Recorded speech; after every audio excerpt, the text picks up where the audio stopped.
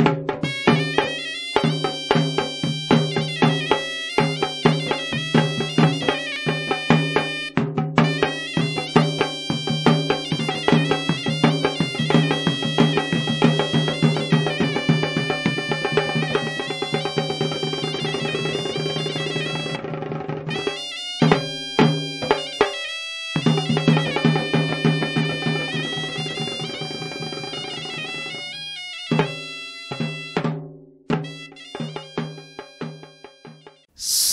සමන්තා චක්කවාලේසු අත්‍රා ගච්ඡන්තු දේවතා සද්ධම්මන් මුනි රාජස්ස සුනන්තු සග්ග මොක්ඛදම් ධම්මත් ශාවෙනි කාලෝ අයන් බදන්තා ධම්මත් ශාවෙනි කාලෝ අයන් බදන්තා ධම්මත් ශාවෙන කාලෝ අයන් බදන්තා.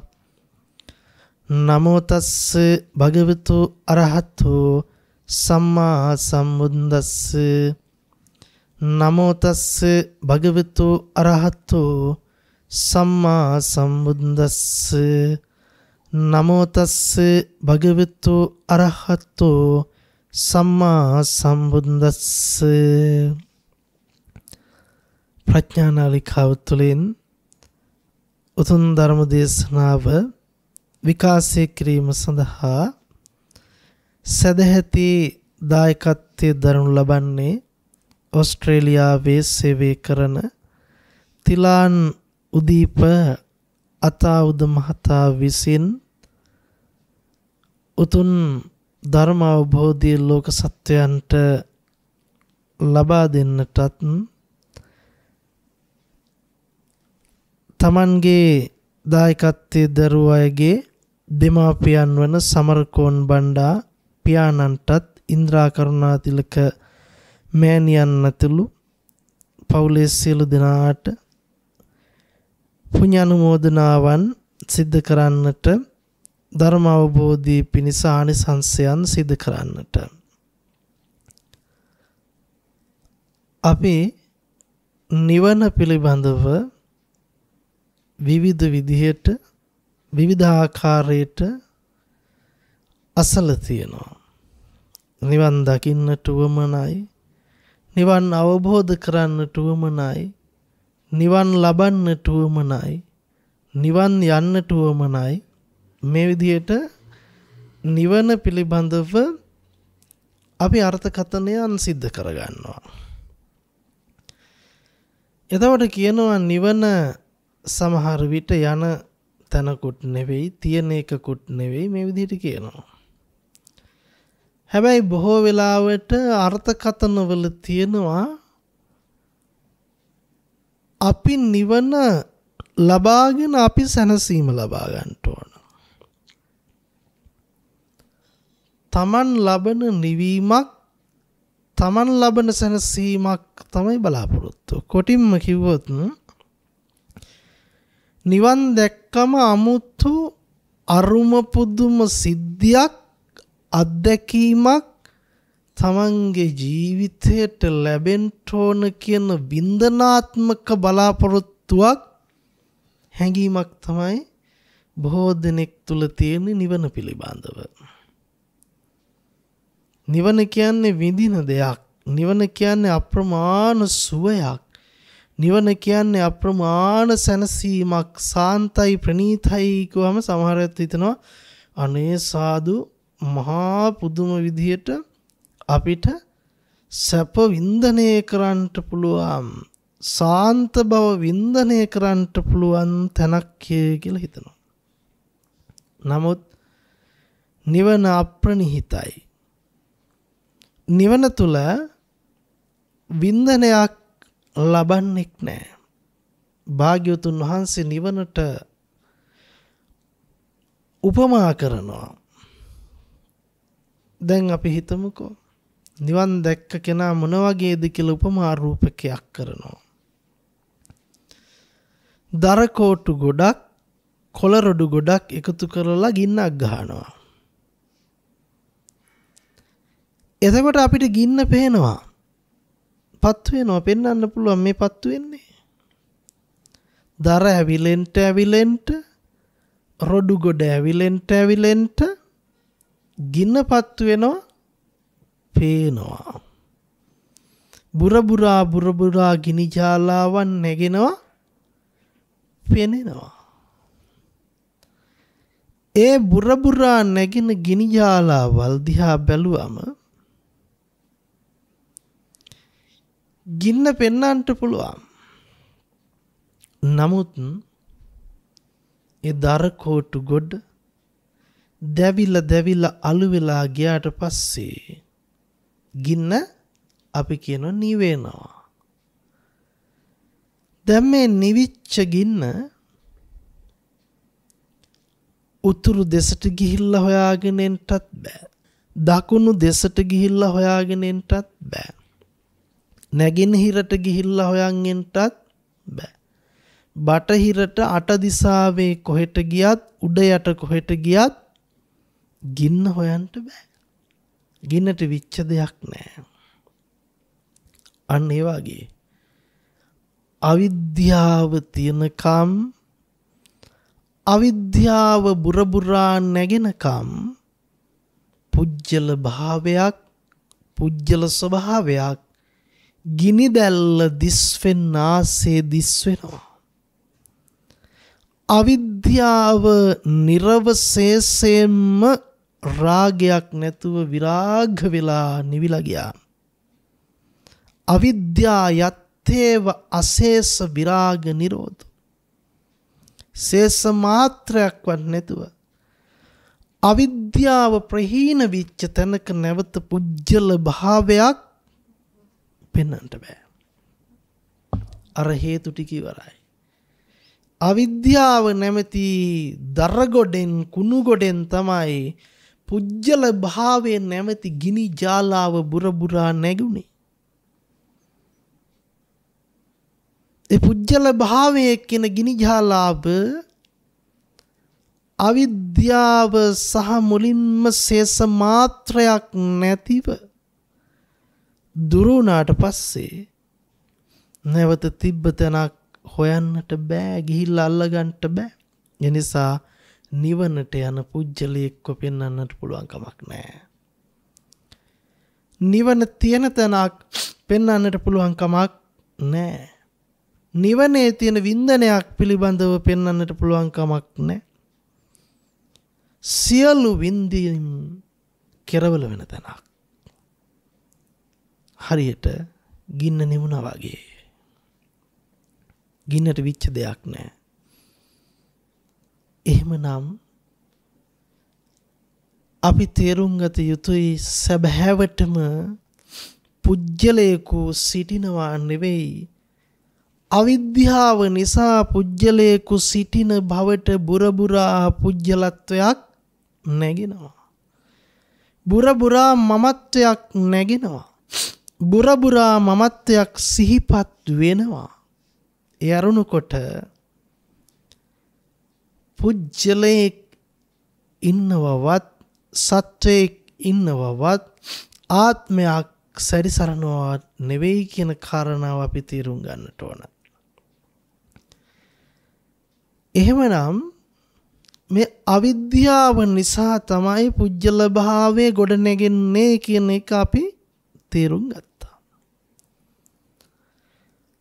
පුජ්‍යල භාවයේ ප්‍රකට වන විදිහ භාග්‍යවතුන් වහන්සේ අපිට පෙන්눔 කරන්නේ පටිච්ච සමුප්පාදයෙන්.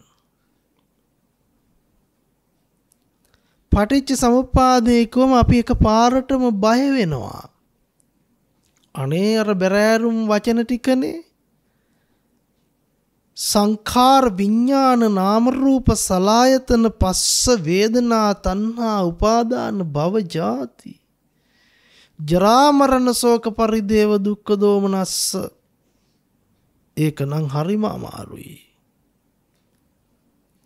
මතක තියාගන්ට හැදුවත් මතක තියාගන්ට අමාරුයිනේ කටපාඩම් කරගත්තත් හරි ගැඹුරුයිනේ මෙම හිතෙන්ට පුළුවන්.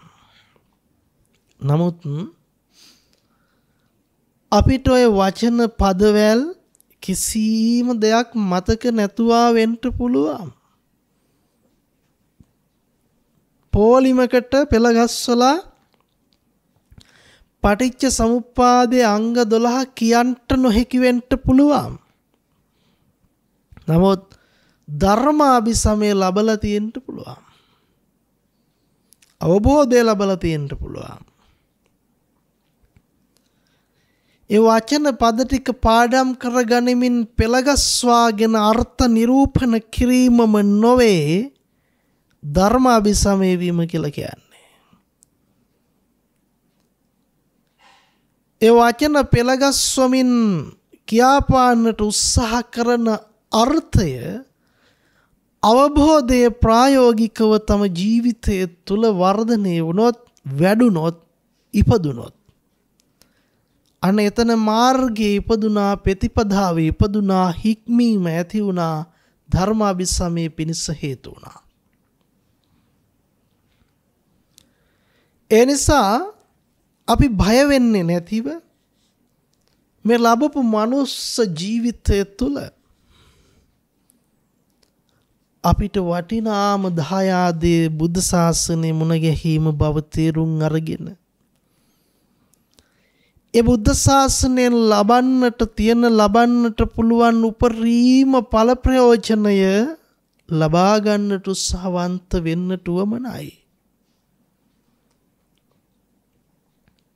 අපි මෙහෙම කල්පනා කරමුකෝ අවිද්‍යාව විවිධ විදිහට ක්‍රියාත්මක වෙන්නට පුළුවන්. ඒ ක්‍රියාත්මක වන අවිද්‍යාවට අනුකූලව ගොඩනැගෙන සංඛාර එක්කලා සාංසාරික පැවැත්මක් නිර්මාණය වෙනවා. ඒ අවිද්‍යාවෙන් ගොඩනැගෙන සංඛාරවලට සාපේක්ෂව කර්මානුරූපව අපි අර්ථකථනය කරගත්තොත් තිරිසං වෙන්නත් පුළුවන්. ප්‍රේත වෙන්නත් පුළුවන්. අසුර වෙන්නත් පුළුවන්.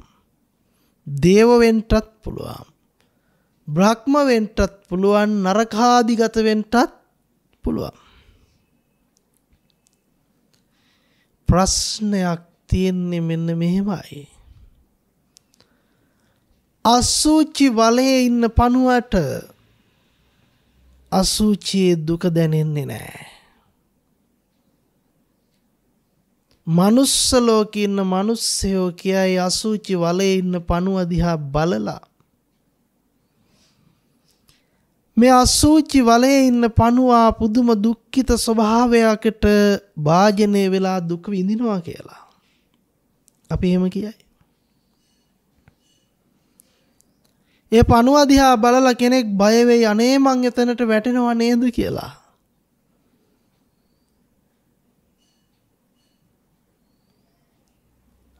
අසූචියේ ඉන්න පණුවට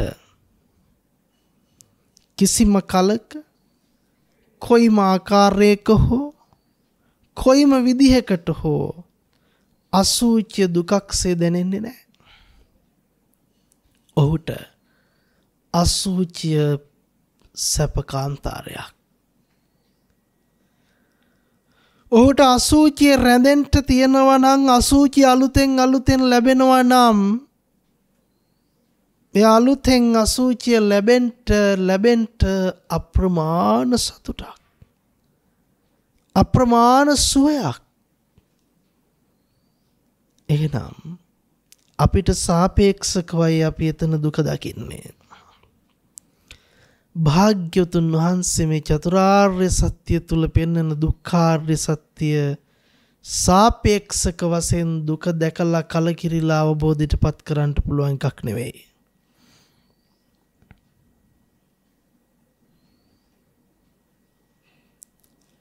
දිව්‍ය ලෝකෙ දෙවියන්ට මනුස්ස ලෝකෙ අසූචි වලක් වාගේ පේනවා. අපිට පණුව පේනවා වාගේ. හැබැයි අපිට ඒක සුරපුරයක් වෙලා පේනවා. දිව්‍ය ලෝකේ අසුචි වලක් වගේ බ්‍රහ්ම ලෝකේ බ්‍රහ්මයන්ට පේනවා. නමුත් දෙවියන්ට ඒක සුරපුරයක් වාගේ පේනවා. අපිටත් පේන්නේ සුරපුරයක් වාගේ ඉහළනේ. මෙහෙම මෙහෙම බැලුවොත් දුක සැප කියන එක සාපේක්ෂව තම තමන් භුක්ති විඳින ස්වභාවයක්.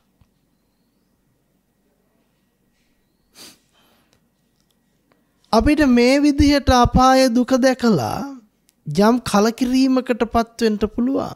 යන් සංවේදයක් උපදව ගන්ට පුළුවන් අනේ අපිත් එආකාරයෙන් හිටිය නේද කියලා. එනිසා මේ සසරේ කොහොම සැරිසරුවත් ඔය තැන් ටිකේ තමයි ගමන් කරන්නට වෙන්නේ කියලා. අවබෝධයක් ලබන්නට උපකාරයක් තියෙනවා. නමුත් ඒ දුක දැකලා අනේ දුකයි කියලා හිත හිතා හිටියාට දුක අවබෝධ කරන්නට ලැබෙන්නේ නැහැ.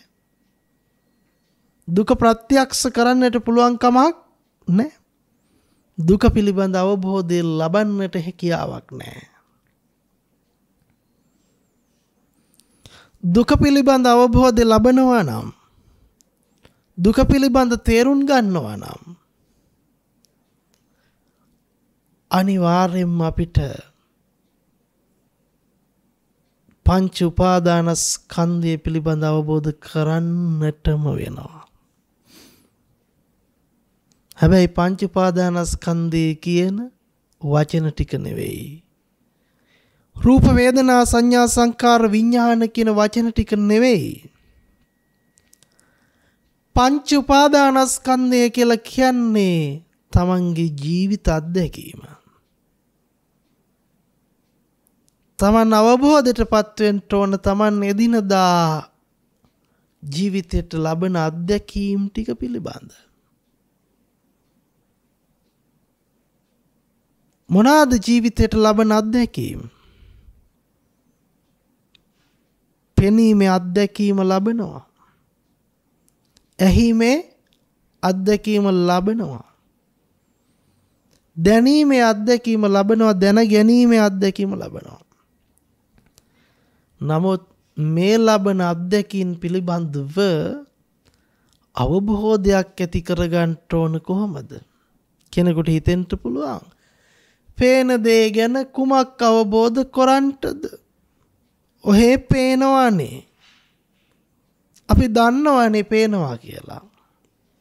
හරි. පේන දේ ගැන අපි අවබෝධ කරන්නට ඕන විශේෂ නුවණකින්. පෙනීම පිළිබඳව පෙනීමේ හට ගැනීම පිළිබඳව පෙනීමේ නොහට ගැනීම පිළිබඳව පෙනීමේ නොහට ගැනීමට තියෙන ප්‍රතිපදාව පිළිබඳව. එතකොට තේරෙයි කෙනෙකුට හිතෙයි මේ පේන එක නැති කරලා අන්ධ වෙන විදිහ දවබෝධ කරන්න ඕන. නොහොට ගැනීම කිව්වාම. තව කෙනෙකුට හිතේ ඇහීමේ ප්‍රශ්නයක් නෑ පෙනීමේ ප්‍රශ්නයක් නෑ පේන ඇහෙන දැනෙන දැනගන්න එක නම් ප්‍රශ්නේ බීරෝ නිවන් දකින්නවානේ. අන්දයෝ නිවන් දකින්නවානේ.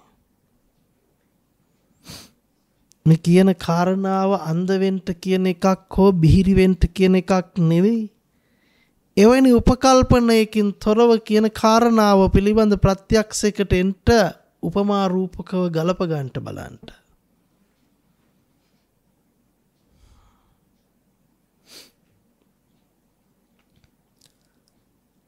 පෙනීම පිළිබඳවත් පෙනීමේ හට ගැනීම පිළිබඳවත් කියලා කියන්නේ වෙන අමුතු එකක් නෙවෙයි. දුක පිළිබඳවත් දුකේ සකස්වීම පිළිබඳව. පෙනීමේ නොහට ගැනීමත් පෙනීම නොහට ගන්ට තියෙන පිළිවෙතත් කියලා කියන්නේ දුකේ නොහට ගැනීමත් දුක නොහට ගන්ට තියෙන ප්‍රතිපදාවත් පිළිබඳ. පෙනීම කියනකොටම ඔබට ගැලපෙන්නේ වෙන මොකුත් නෙවෙයි. සක්කාය දිට්ඨිය මුසු කරගත්ත කෙනෙකුගේ සත්වයෙකුගේ පුජ්‍යලයකුගේ පෙනීමක්.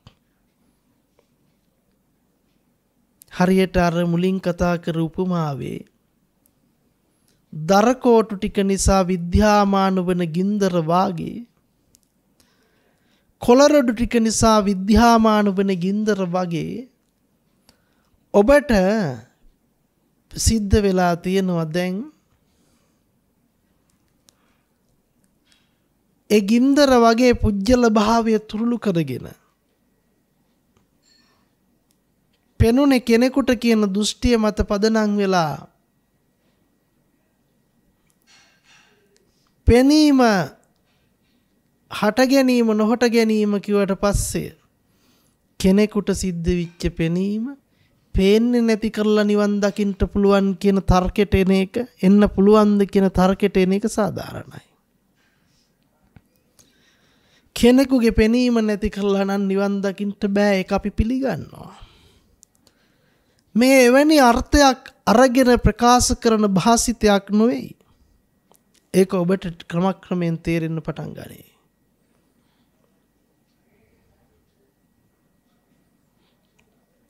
අපි මෙහෙම හිතමු. පේනවා කියන තැන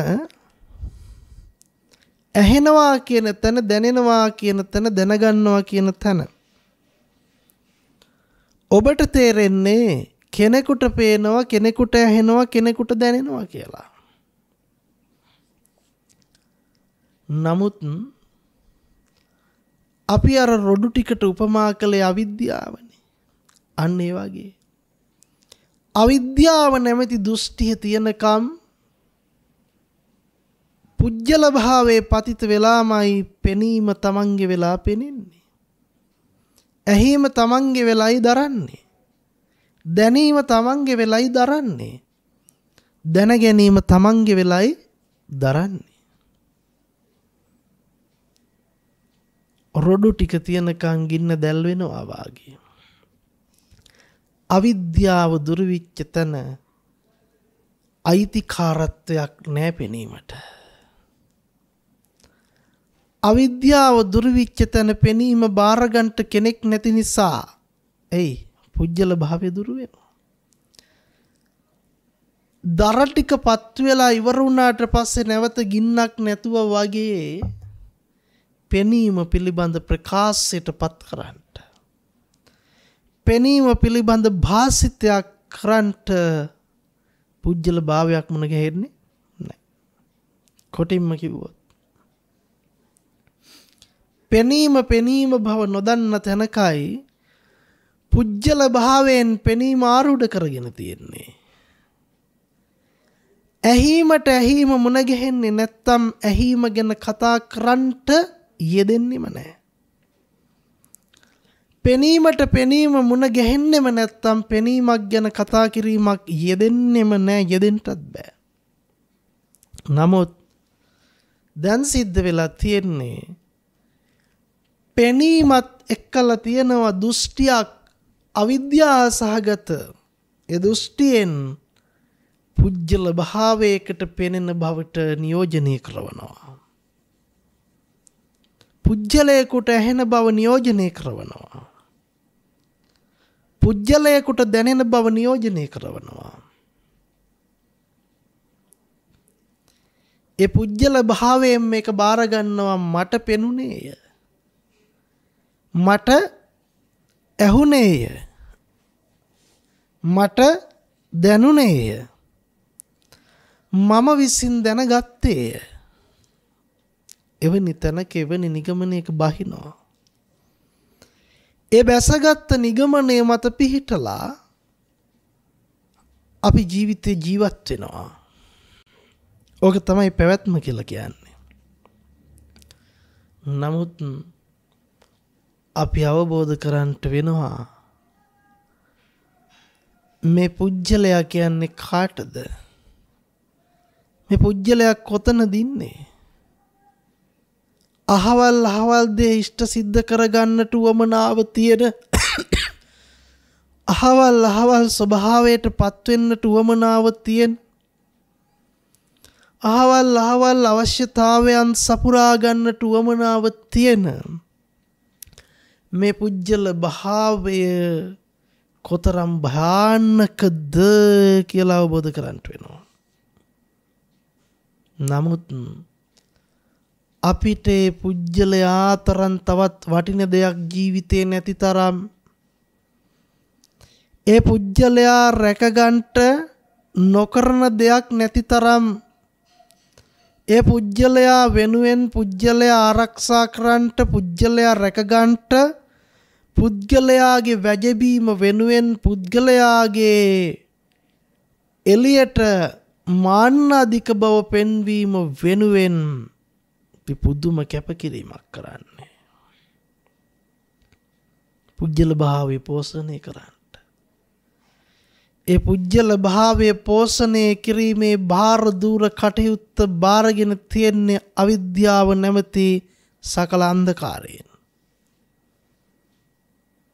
ඒ අවිද්‍යාව නැමති අන්දකාරයෙන් බාරදුන් පුජ්ජල භාවය පෝෂණය කොට පුජ්ජල භාවය රැක ගැනීමේ ඒ බාරදූර කටයුත්තේ අපි එදිනෙදා ජීවිතය තුළ නිරත වෙනවා. පුදුම ආඩම්බරකමකින් පුදුම අභිමානයකින් ඒ කටයුත්තේ වගකීම් ටික කරට අරගෙන නොපිරිහෙලා ඉෂ්ට සිද්ධ කරමින් අපි ඉන්නේ. ලේසි පාසු නෑ. අවිද්‍යාවෙන් බාරදීපු කර්තව්‍ය මොකද කරන්නේ. අකුරටම ජයටම තිතටම හැම මොහොතකම සිද්ධ කරමින් යනවා. බොහෝම කලාතුරකින් තමයි අවිද්‍යාවෙන් බාරදීපු කටයුත්තෙ නිස්පල භව තේරුම් අරගෙන. ඒක තියෙන මෝඩකම නිවටකම අඥ්ඥානවන්තකම තේරුම් අරගෙන යම් කෙනෙක් ඒ කටයුත්ත ප්‍රතික්ෂේප කරලා අවිද්‍යාව නැමති බාරදුර කටයුත්තෙන් සහ මුලින්ම ගැලවිලා ඉන්වෙන්නේ. මෙන්න මේකටයි බුදුරජාණන් වහන්සේ අපිට ධර්මය පෙන්වා වදාලේ. මොකද මේ අවිද්‍යාව බාරදීපු කටයුත්ත සුළුපටු එකක් නෙවෙයි. කරලා ඉවර කරන්නට පුළුවන් එකකුත් නෙවෙයි. කෙරවලක් ඇති දෙයකුත් නෙවෙයි කොටි වලිගේ අල්ල ගත්තවාගේ. අතාරින්ට බෑ හරිම අමාරුයි. අතාරණ විදිහක් තේරෙන්නේ නෑ. කොටියට තියෙන බය නිසා වලිගෙම අල්ලගෙන ඉන්නවා වගේ. මේ අවිද්‍යාවෙන් බාරදීපු කටයුත්ත නිසා මාව රැකගන්ට මාව නැතිවෙයි කියන බයට මට හානියක් වෙයි කියන බයට මගේ ප්‍රතිරූපය විනාශ වෙයි කියන බයට මම වෙනුවෙන් මේ කටයුත්ත නිදි මරාගෙන සසර ගමනක් පුරාවට දහදුක් විඳගෙන අප්‍රමාණ වෙහෙසට පත්තමින් සිද්ධ කරමින් අපි පවතිනවා. මේ පිළිබඳව අපිට හාන් කවිසියකවත් භයානක බවක් පෙනෙන්නට නෑ. මුලාසාගත බවක් පෙනෙන්නට නෑ. අපි හිතන්නේ කර්තව්‍ය තමයි අපේ ජීවිතයේ ප්‍රමුඛස්ථානෙහිලා තියෙන්නට උවමනා කරන්නේ. ඒ කර්තව්‍ය වෙනුවෙන් දිවි නොතකා අන්න අයගේ දිවිද තොර කරමින් අන්න අයද පහත් කරමින් පුදුම යුද්ධක නිරත වෙනවා. ඕකයි අවිද්‍යාවෙන් අපට පවරපු කාර්යභාරය. දැන් අපි තේරුම් ගන්ට වෙනවා මේ අවිද්‍යාව නැමති අඳුරු වලාපොටෙන් අපිට දාලා තියෙන බැම්ම. අපිට බාර දීලා තිබුණ කොටිවලිගේ ගලවලා. සම්පූර්ණයෙන්ම මේ කොටියට තියෙන හුඹස් බිය පහ කරලා.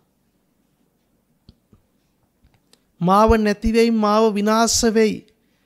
මට මෙහෙම කරන්න ඕනි මාව මෙහෙම තියන්න ඕනි කියන අවිද්‍යාසගත සියලු මමත්ව මාන්කාර මමන්කාර සියලු මුලාසහගත හැඟීම් වලින් තොරව ඒ මාව කොටියට දීලා මාව විනාශ කරලා මේ ධර්මාභිසමයේ පිණිස අවශ්‍ය කරන මාර්ගයේ ප්‍රතිපදාව අපි උපදව ගන්නට උවමනයි.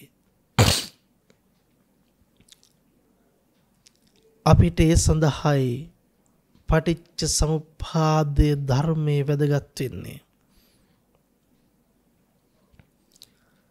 අපිට නිකම්ම නිකම් වචන ටිකක් වුණාට අවිද්‍යා පච්චා සංඛාරා සංඛාර පච්චා විඥානං විඥාන පච්චා නාම රූපං නාම රූප පච්චා සලායතනම් සලායතන පච්චා පස්සෝ පස්ස පච්චා වේදනා වේදනා පච්චා තණ්හා තණ්හා පච්චා උපාදානං උපාදාන පච්චා භව භවපච්චා ජාති ජාතිපච්චා ජරා මරණං ශෝක පරිදේව දුක්ඛ දෝමනස්ස පහයාසා සම්භවಂತಿ ඒව මේ තස්ස කේවලස දුක්ඛක්ඛන්දස සමුදයෝ හෝති කොහොම අපිට වචන ටිකක් විතරයි. නමුත් මේ පටිච්ච සමුප්පාදය අපි ආත්මී හැඟීමකින් ගලපගෙන ඒ පුජ්‍යලයා ගේ අර බාරදූර පුජ්‍යලයා රැක ගන්නට දීපු පවරපු කටයුත්තෙම කොටසක් බවට පත් කරගෙන පටිච්ච සමුප්පාදයට වරද්දාගෙන අපි ඒක ආත්මගත සත්ව පුජ්‍යලයකුගේ ගමනකට ඇඳගෙන ලේසි නෑ. නමුත් මේ පටිච්ච සමුප්පාදය ක්‍රියාත්මක වෙන්නේ පටිච්ච සමුප්පාද න්‍යායට අනුකූලව. ඒ න්‍යායෙන් පරිබාහිරව අපි මේක ගලප ගන්නට ගියොත් අපිට වරදිනවා. තිමස්මින් සති ඉදන් හෝති ඉමස්ස උපාදා ඉදං උපජ්ජති ඉමස්මින් අසති ඉදන් නහෝති ඉමස්ස නිරෝධා ඉදන් නිරුජ්ජති මෙය ඇතිකල්හිම මෙහවේ. මේ උපදීමෙන්ම මේ උපදී. මෙය නැතිකල්හි මෙය නොවේ. මෙය සකස් නොවීමෙන් මේ සකස් නොවේ. මෙන්න න්‍යාය. එහෙමනම් ඔය පටිච්ච සමුප්පාදයේ අංග 12 ක්‍රියාත්මක වෙන්න උවමනා කරන්නේ මේ න්‍යායට අනුකූලව. න්‍යායෙන් පරිබාහිරව අපි ඔක ගලපගෙන තේරුමක් නැහැ. අවබෝධයකටපත් වෙන්නට බෑ අපිට එතකොට. මෙය ඇති කල්ලි මේ වේ. මේ උපදීමෙන් මේ උපදී. එහෙනම් අවිද්‍යාව ඇති කල්හි සංකාර වේ. අවිද්‍යාවට පස්සේ සංකාර නෙවෙයි ඒක නිසා මේක වෙනව නෙවෙයි මේ ඇති කල්ලි මේ වේ. එහෙනම් මේ අවිද්‍යාව කොතනද මුළු පටිච්ච සමුප්පාදයේ අංග 12ම ක්‍රියාත්මක වීම කොතනද? එතනමයි. එතනමයි. කොතනද එතකොට? Taman මේ ලබන ජීවිත අත්දැකීම තුල තියෙන මේ පටිච්චසමුප්පාද ක්‍රියාත්මක වීම. මොකක්ද තමන් ලබන ජීවිත අත්දැකීම. පෙනෙන අත්දැකීම ඇහෙන අත්දැකීම දැනෙන අත්දැකීම දැනගන්න අත්දැකීම. පෙනීම තුළ ක්‍රියාත්මක එහෙමනම් මොකක්ද පටිච්ච සමුප්පාදය. ඇහීම තුළ ක්‍රියාත්මක පටිච්ච සමුප්පාදය. දැනීම තුළ ක්‍රියාත්මක පටිච්ච සමුප්පාදය. දැනගැනීම තුළ ක්‍රියාත්මක වෙන්නේ පටිච්ච සමුප්පාදය. මේ අංග 12 ක්‍රියාත්මකයි. මේ පෙනීම ඇහිම දැනීම දැනගැනීම කොහෙද තියෙන්නේ? කොතනද ක්‍රියාත්මක වෙන්නේ? මේ දැන් මේ වෙලාවේ. මේ වෙලාවේ ඔබට ජීවිත අත්දැකීම ලැබෙන්නේ. එතකොට හිතෙන්න පුළුවන් මේ වෙලාවේ නෙමෙයි කලිමුත් ලැබුණානේ. අනාගතෙත් ලැබෙනවානේ. හැබැයි කලින් ලැබුවනන් ලැබුවේ ඒත් මේ වර්තමානය වෙලා මේ ටික්කට කලින් ලැබුවේ කොහෙද මේ වර්තමානයේ අනාගතේ ලබනවන ලබන්නේ වර්තමානය එහෙනම් ලැබුවාය කියපු ටික ලැබුවෙත් වර්තමාන වෙලාවක ලබන්නේ කියන ටික ලබන්නේ වර්තමාන වෙලාවක එහෙනම් අපිට මේ පටිසම්පාදය විසඳ ගන්නට වෙන්නේ මේ දැන් මෙතනදී. අතීතයට ගිහිල්ලවත් මතු අනාගතයේදීවත් නෙවෙයි මේ පටිසම්පාදය අවබෝධ කරන්නට වෙන්නේ. පටිසම්පාදයේ හැසිරීම තේරුම් ගන්නට වෙන්නේ මේ දැන් මෙතන. එහෙමනම් අවිද්‍යාවෙන් තමයි පටිසම්පාදය මොකක් වෙන්නේද? ක්‍රියාත්මක වෙන්නේ. කෙනෙකුට හිතෙන්න පුළුවන් රහතන් වහන්සේලා බුදුරජාණන් වහන්සේලා ලෝකෙ රූප දැක්කේ නැද්ද? ලෝකෙ සද්ද ඇහුවේ නැද්ද? පින්වත් ආනන්දය කියලා බුදුරජාණන් වහන්සේ ආමන්ත්‍රණය කළේ නැද්ද? භික්ෂූන් නැමතුවේ නැද්ද? භාග්‍යවතුන් වහන්සේ ලෝකේ අත්දැකීම් ලැබුවේ නැද්ද? මම හිතෙන්න පුළුවන්. නමුත් හොඳට මතක තියාගන්න. ඔබට කවදාකවත් ඔබේ ජීවිත අත්දැකීම හැර රහතන් වහන්සේ කෙනෙකුගේ හෝ බුදුරජාණන් වහන්සේගේ ජීවිත අත්දැකීම පිළිබඳව දැනගැනීමක් සිද්ධ කරන්නට බැරි බව හොඳට මතක තියාගන්නට. ඒ රහතන් වහන්සේලා පිළිබඳව බුදුරජාණන් වහන්සේ පිළිබඳව ඔබ දැනගත්ත ඔබේ අත්දැකීමයි ඔබ ලබන්නේ. ඔබට මුණගැහෙන්නේ රූප වේදනා සංඥා සංකාර විඤ්ඥාන පහෙ දැන ගැනීම. අපි රහතන් වහන්සේලාගේ පෙනීම ගැන කතා කරන්නට යනවනන් යමෙක් එ දෘෂ්ටි ජාලයක් නිසා එතන්ට පැටලෙන්නේ. බුදුරජාණන් වහන්සේට පෙනුනේ මෙබදු ආකාරයකින් මෙවැනි ආකාරයකින් කියලා කරන්ට යනවා නම් ඒ පුදුම වරද්දා ගැනීමක් ඇයි තමන් ළඟ තියෙන සක්කාය දිට්ඨිය රහතන් වහන්සේ බුදුරජාණන් වහන්සේ කෙන ගුණයට පතිත කරවලා ඒ පතිත කරවපු සක්කාය දෘෂ්ටිය මත පිහිටල මොකක් කරන්නට යනවෙයි. රහතන් වහන්සේ පිළිබඳ කතිකාවත ගොඩනගන්ට යනවා. බුදුරජාණන් වහන්සේලා පිළිබඳ කතා කරන්නට යනවා. නමුත් තමන්ට මුණගැහෙන්නේ තමන්ගේම ස්කන්ධ පංචකය අත්දැකීම. තමන් දන්නා දේ තමයි තමන්ට මුණගැහෙන්නේ. එතනින් එහාට පරාසයක් තමන්ට මුණගැහෙන්නේ තමන්ගේ හිතේ ස්වභාවයයි තමන්ට මුණගැහෙන්නේ. තම තමන්ගේ රූප වේදනා සංඥා සංකාර විඤ්ඤාණ පහ අධ්‍යක්ීම් මුණගැහෙන්නේ. ඒ නිසා හොඳට තේරුම් ගන්නට බලන්ට මෙතනදී අපි හදන්නේ සමුදය සහ නිරෝධය පිළිබඳව ඔබට පැහැදිලි කරවලා දෙන්න.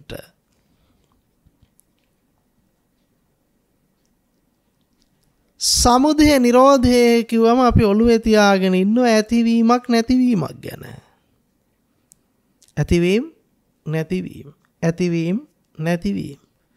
අපි හිතනවා හැම වෙලේම පංචස්කන්ධයක් හැදෙනවා නැති වෙනවා. හැදෙනවා නැති වෙනවා. නමුත් අපි තේරුම් ගන්නට ඕන මේ හැදෙනවා නැති වෙනවා හැදෙනවා නැති වෙනවා කියලා ගත්තම බරපතල වරදක් තියෙනවා. මොකද්ද තියෙන බරපතල වරද? හැදෙනවා කිව්වාම හැදිච්ච දේ ඇති බවට වැටෙනවා.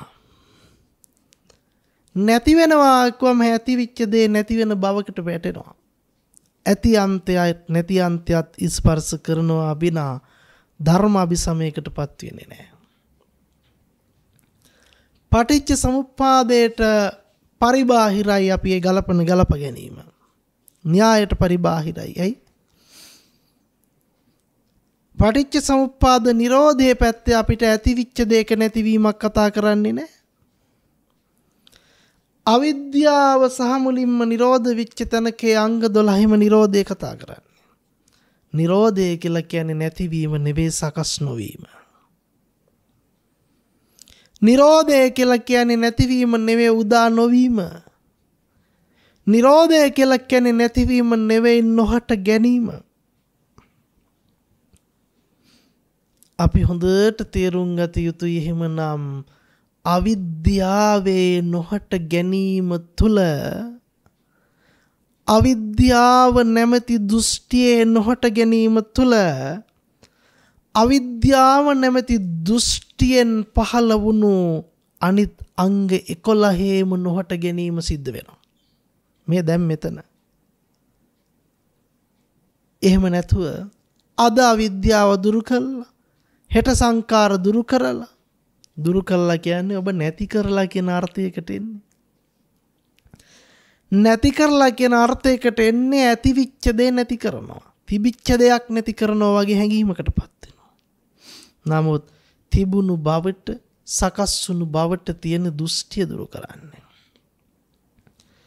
සකස්වුණු බවට තිබුණු බවට ඇති බවට නිතරම අවිද්‍යාව මූලික කරගත්ත සක්කාය දිට්ඨිය තමයි ඔබට පෙන්눔 කරන්නේ හැඟීම ලබල දෙන්නේ.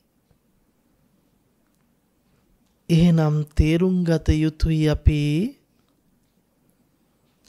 මේ දැම් මෙතනදී ඔබ ලබන අත්දැකීම අපි හිතමුකු දැම් පේනවා. මොකද්ද? පේනවා. මේ පේන පෙනීම අපි හිතන්නේ කාට පේනවා කියලාද? තමන්ට පේනවා.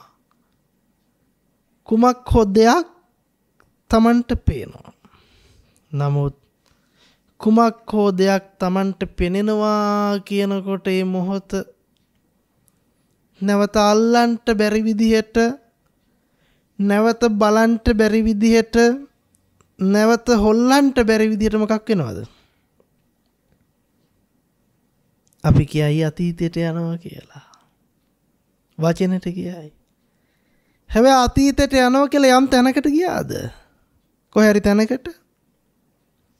අපි වචනෙට යම් තැනකට යනවා කිව්වට ඒකේ වෙලාවේ විද්‍යාමාන වුණා.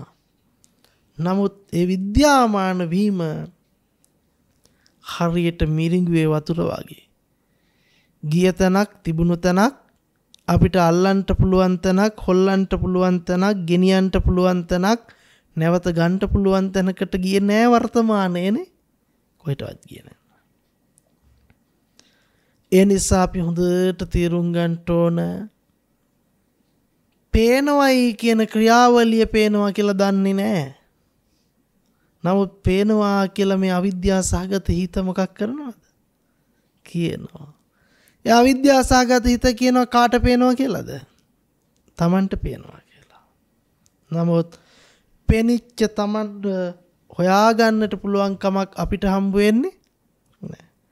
ඒ පෙනිච්ච Taman කොහෙද ඉන්නේ කියලා හොයලා බැලුවොත් එහෙම හොයන්න බෑ.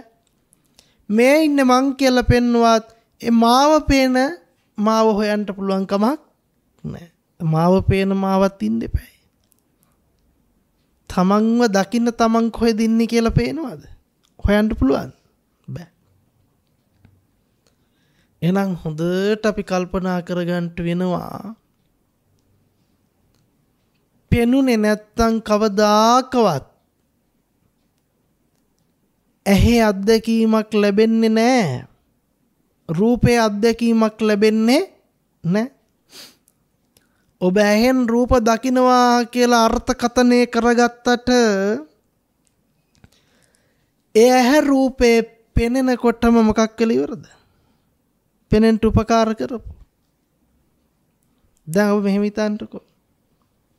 අපි දියේ ඉරක් ඇඳගෙන යනවා. දියේ ඉරක් ඇඳගෙන ඇඳගෙන ඇඳගෙන ගිහිල්ලා කෙරවලට ගිහිල්ලා බැලුවම මොකක් වෙනවද? කෙරවලට ගිහිල්ලා බැලුවා අඳින වෙලාවට මොකක් වගේ පේනවාද ඇඳෙනවා වගේ පේනනවා නමුත් අන්තිමට ගිහිල්ලා බැලුවම ඇඳපු ඉරක් ඇඳපු ඉරක් තියනවද?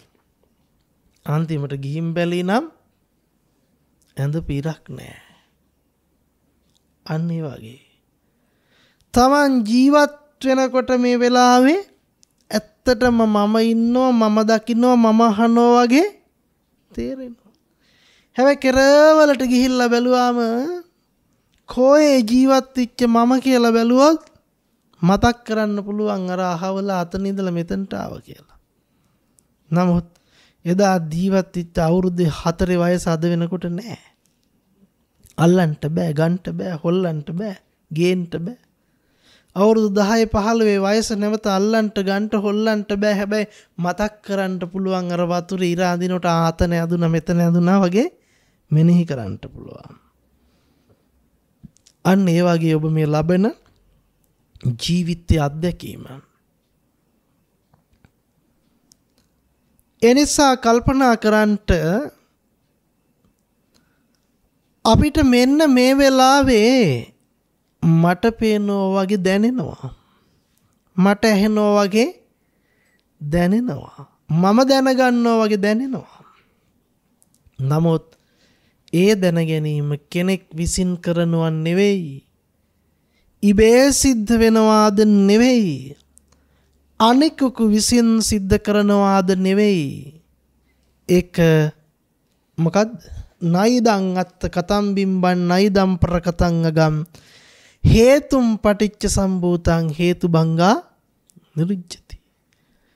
තමන් විසින්ද නොකරවන අනුන් විසින්ද මේ පැවැත්ම නොපවත්වන ඉබේද සිද්ධ නොවන හේතු ප්‍රත්තියෙන් සකස් වෙනවා හේතු නැති කල එවැනි සකස්වීමක් නෑ. එනම් මට පේනවා කියලා නිතරම හැඟීම දෙන්නේ කොහෙන්ද. ඇත්තරම පෙනීම මට පේනවා කියලා හැඟීමක් නෙවෙයිද තියෙන්නේ හැඟීමක්. පෙනීම දන්නවද පේනවා කියලා පෙනීම දන්නවද මට පේනවා කියලා එහෙම නැත්තම් හැඟීමකින් සිතෙනවද? හැඟීමකින් හිතනවා. මෙන්න මේ හිතන එකේ වැරද්දයි අපි දකින්න ඕන. මේ සිත අවිද්‍යා සහගතව ගොඩනැගෙන බවයි අපි දකින්න ඕන. මොකද ඒක හිතෙනවා මිසක එහෙම දැනෙනවා මිසක ඒ දැනිච්ච මාව හෝ පෙනිච්ච මාව හෝ අපිට ආපස්සට හැරිලා බැලුවොත් හිටපු තැනක් හොයන්ට බෑනේ. අවුරුදු 10 දැකපු මාව කෝ දැන්? මේ මං නාකි වෙලා කියලා කියයි. එහෙම හිතාගනි. අද මේ දකින මාව තව අවුරුදු 10කින් මේ தත්ත්වයට පත් වෙයි කියලා හිතයි හිතාගනි. එහෙම හිතලුවක් තියෙයි. එහෙම ගලපගත්ත කතාවක් තියෙයි. එහෙම ගලපගත්ත සාපේක්ෂකයක් තියෙයි. එහරුණකොට මාව අපිට කොහෙදිවත් නැවත මුණ ගැහෙන්නේ නැහැ. එමාව නැවත කොයිම තැනකදිවත් අපිට එළියට ගේන්ට ගන්ට පුළුවන්කමක් නැහැ. එහෙනම් මේ පච්චුප්පන්නේ විදර්ශනා කරන්නට මේ වර්තමානයේ අත්දැකීම ලබන මොහොතට එන්ට පච්චුප්පන්නංච ජේ ධම්මං තත්ත තත්ත විපස්සති මේ ලබන අත්දැකීම මෙතන මෙතනම විදර්ශනා නුවණට පත් කරගන්නට එතකොට තේරෙයි. අතීතයක සිට ආපු නැති අත්දැකීමක්. නැවත කවර කලකවත් මේ අත්දැකීම නැවත ගන්නට බැරි ගේන්ට බැරි අත්දැකීමක්. අනාගතයේ කිසිම දවසක නැවත මේ දැන් ලබන අත්දැකීම අල්ලන්ට බැරි හමු වෙන්නේ නැති අත්දැකීමක්. එහෙනම් මේ අත්දැකීම මම කොට ගැනීමේ බරපතල වරදක් තියෙනවා. මේ අත්දැකීම මගේ කොට ගැනීමේ බරපතල වරදක් තියෙනවා. අන්නේ මම කොටගත් මගේ කොටගත් අත්දැකීම තමයි අපිව සසරගෙනාවේ දැන් මොකද්ද උනේ ඒ අත්දැකීම මට ඕන විදියට මෙහෙම තියෙන්න ඕන අරහෙම තියෙන්න ඕන අරහෙම කරන්න ඕන. ඒ අත්දැකීමත් එක්ක මොකද කරන්නේ? මේක අසවල් දේ මේක අසවල් විදිහට තිබිය යුතු දේ. අසවල් අසවල් ආකාරයෙන් පවත්වන්නට ඕන මේ වගේ පරිකල්පනා ඒත් එක්කලා අපි එකතු කරගන්නවා. නමුත් අපි තේරුම් ගත යුතුයි අපි අවබෝධයට පත්විය යුතුයි කිසිම කලක කොයිම විදිහකටවත් කොයිම ආකාරයකටවත් ඒ ලබන අත්දැකීමට ආරූඪ කරගත් පුජ්‍යල භාවයක් මිසක පුජ්‍යලයක් ලැබපු අත්දැකීමක් නොවන බව. පෙනීම පෙනීම බව නොදන්නා කල පෙනීමට පෙනීමේ ක්‍රියාවලියක් හමු නොවන තැන අපි මොකද්ද කළේ? පෙනීමට මමත්වය තවරලා ක්‍රියාවලියක් කළා කාට පේනද? Tamanට පේන අසවල් අසවල් දේ කියන මානසිකාරය කරගත්තා. එන ඇත්තටම ජීවිතය අහවල් අහවල් දේ මම දැක්කය මම භුක්ති විඳාය කියලා කරලා තියෙන මෙනෙහි කර ගැනීමක්ද නැද්ද? මෙනෙහි කර ගැනීමක්. ඒ මෙනෙහි කර ගැනීමට අපි කියනවා අයෝනිසෝ මනසිකාරය. ඒ මෙනෙහි කර ගැනීමට අපි කියනවා අවිද්‍යා සහගත මෙනෙහි කර ගැනීම. මෙන්න මේ අයෝනිසෝ මනසිකාරයෙන් මමත්වය තුරුළු කරගත්තා. නමුත් ඇත්තටම අපි දැක්කනම් පෙනුනා කියන ක්‍රියාවලියට පෙනීම හම්බුනේ නැත්තම් අපිට ඇහැරූපය පෙනීමට හම්බෙනවාද. පෙනීමටද ඇහැරූපය හම්බෙන්නේ පෙනුනා කියන තමන්ටද. පෙනීම තමන් කරගත්තම තමයි ඒ තමන්ට ඇහෙරූපය අත්දැකීම ලැබෙන්නේ. එහෙම නැතුව. අනාත්ම විච්ච පෙනීම පෙනීමක් බවවත් දන්නේ නැත්තාම් ඇහැ රූපේ කවදාකවත් පෙනීමට හම්බෙලා නැහැ. පෙනීමට කොයිම විදිහකටවත් ඇහි අත්දැකීම රූපය අත්දැකීම ලැබිලා නැහැ. අපි එහෙමනම් තේරුම් ගත යුතුයි මෙතනදී මොකද්ද? ඇහි අත්දැකීම රූපය අත්දැකීම ලැබුණේ සක්කාය දිට්ඨියට. ඒ සක්කාය දිට්ඨිකයා තමයි කිව්වේ ඇහෙන් රූප දැක්කා කියලා.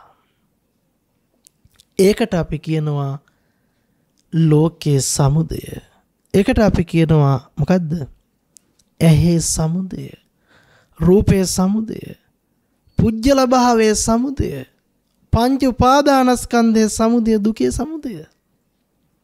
යම් කෙනෙක් තේරුම් ගත්තොත් මේ අවිද්‍යා සහගත දෘෂ්ටියට දැනෙන දැනීමක් මිසක මේ අවිද්‍යා සහගත දෘෂ්ටියෙන් කරන මඤ්ඤති මඤ්ඤණාවක් මිසක හිතා ගැනීමක් මිසක දෘෂ්ටි ජාලයක් මිසක බලන්නකො තව මොකද්ද තියෙන්නේ කියලා. එහෙම හිතා ගන්නවා පේනවා කාටද පේන්නේ මට පේන්නේ මොකද්ද අසවල් අසවල් දේය ඒ හිතලුවක් පමණයි. ඒ හිතාගත්ත හිතා ගැනීම මොකක් කරගෙනද? ඉන්ද්‍රජාලිකයෙකු මවාපාපු ඒ මායාවකට අසුනාසේ මේ විඤ්ඥානය ලබපු අත්දැකින් මායාව ඇතුළේ කොටුුණාද නැද කොටුුණා. ඒ කොටුවීමට කොච්චර කොටුුණාද කිවොත් එක සදාතනික ඇත්ත වුණා ඒක ඇත්ත කරගෙන පැවැත්මක් සකස් කළා. එකට කියනවා අවිද්‍යා සහගතව දෘෂ්ටිගත වෙලා පවත්වපු පැවැත්ම. ඔන්න එහෙනම් අපිට අවබෝධයක් ලැබුණා. ඇත්තටම දියේ ඉර ඇන්දට කවදාකවත් ඇඳුන වගේ පෙනුනට ඇඳුනද ඇඳුනද ඇඳුනෙම නෑ. දිය ඉරක් ඇඳුනෙම නැති තැනක ඇඳුණු බවට පෙන්නපු දේ ඇඳුණු බවට පිළිගැනීම සම්මාදිට්ටියක් හරි දැක්මක්ද. යෝනිසෝ මනසිකාරයෙන් සිහියෙන් බල්ලද ඒ වෙලාවට පෙනිච්ච දේ එක පාරම පිළි අරන්ද. ඒ වෙලාවට පෙනිච්ච දේ එක පාරම දරාගෙන පිළි අරගෙන. එහෙනම් හොඳට මතක තියාගන්නට පෙනීම ඇහිීම දැනීම දැනගැනීම ඇත්තටම මෙතන කෙනෙකුට සිද්ධ වුණාජ පෙනුනාය ඇහුනාය දැනුනාය කියලා අත්දැකීමත් එක්කලා ඒ ලබන මොහොතේ එන හැඟීමත් එක්කලා අයෝනිසෝ මනසිකාරයෙන් පිළි අරගෙනද නැද්ද එකපාරට? පිළි අරගෙන. විමසලා බැලුවාද? විමසල බැලුවේ නෑ. විදර්ශනා කල්ලා බැලුවාද? විදර්ශනා කල්ලා බැලුවේ නෑ. නුවන මෙහෙවල බැලුවාද නුවන මෙහෙවල බැලුවේ නෑ. ප්‍රඥා ගෝචරව බැලුවාද ප්‍රඥා ගෝචරව බැලුවේ නෑ. එහෙම් පිටිම පිළිගත්තා. එහෙනම් ඔන්න අපි තේරුම් ගත්තා මේ සමුදය හට ගැනීම කියලා කියන්නේ මොකට අයිති දෙයක්ද? ඇති වුණ බවට පෙන්නනවා මිසක් දිය ඉර ඇඳුනා කියලා එවෙලට දිස් වෙනවා මිසක් මිරිඟුවේ වතුර තියනවා කියලා එවෙලට දිස් වෙනවා මිසක් මොකද්ද? වතුර තියනවා හැම නෙවෙයි රැවටෙන්න එපා. ඒ නිසා දුක නැති කරගන්නට යන්න ඕනිද බලහත්කාරයෙන්? දුකාවේ කාටද පෙනිච්ච දේ මම කරගෙන මගේ අම්මා තාත්තා දුව පුතා කරගෙන ඒක ඇත්ත කරගෙන දැන් මොකද කළේ? පෙනීම කෙස්ලොම් නියද සම්මස්නහර බවට පත් කරගෙන දිරන්නවා කියලා දුක්ුණා. ජරාවට පත්වෙනවා කියල දුක්කුණා. කැඩෙනවා කියල දුක්කුණා. කුඩු වෙනවා කියල දුක්කුණා. බිඳෙනවා වැෑවෙනවා නැතිවෙනවා නාස්ති වෙනවා මරණට පත්වෙනවා කියලමකක් වුණාද. දුක්කුණ. ඕක තමයි සිද්ධ කරගත්තේ.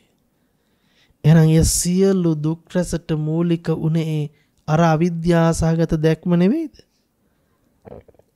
අවිද්‍යාසාගත දෘෂ්ටිය නෙවෙයිද. ඒ අවිද්‍යාසාගත දැක්ම ඒ අවිද්‍යාසහගත දෘෂ්ටිය ඒ අවිද්‍යාසහගත මුලාව එහෙනම් ඔන්න අපි තේරුම් ගන්නවා අවිද්‍යාසහගත දෘෂ්ටිය ඇතුලේ ඒ අවිද්‍යාසහගත මුලාව ඇතුලේ ඒ අවිද්‍යාසහගත ප්‍රතිබිම්බක දැක්ම ඇතුලේ තමයි අපි මොකක් කළේද? සියලු තීන්දු තීරණ නිගමන වලට ලැබුණේ. එහෙනම් සමුදය නිරෝධය කිව්වේ ඇතිවීම නැතිවීමටද? සමුදය කිව්වේ අවිද්‍යාව නිසා සකස් වෙච්ච පැවැත්ම. ඒකට අපි කියනවා දුකයි සමුදයයි ලෝකෙට අයිති පැත්ත, මුලාවට අයිති පැත්ත.